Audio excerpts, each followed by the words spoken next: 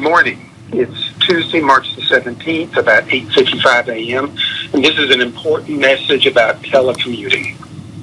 The district has distributed its telecommuting procedures. These have been forwarded to the vice presidents who will in turn work with the deans and directors under their charge and will then work with individual employees to complete the telecommuting forms to make sure that we understand and that we all understand how telecommuting will work. I encourage you to make this a priority. I encourage you to work closely with your supervisors to be sure that each side has a full understanding of what the job will be and what the responsibilities will be and what the requirements will be. Any questions, please pose them directly to your supervisors who will in turn let the vice presidents and me know. And if I can't answer it, then I will work to get an answer from district as soon as possible.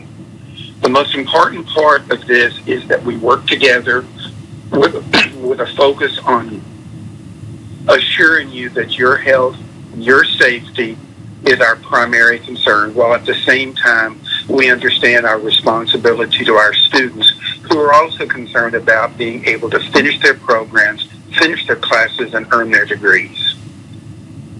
Again, thank you for all the teamwork in making this happen. Thank you for understanding the situation we're in and that we are dealing with an unprecedented situation. But I know that as a community, we, we, we will be able to be successful and we will meet this challenge together. Thank you.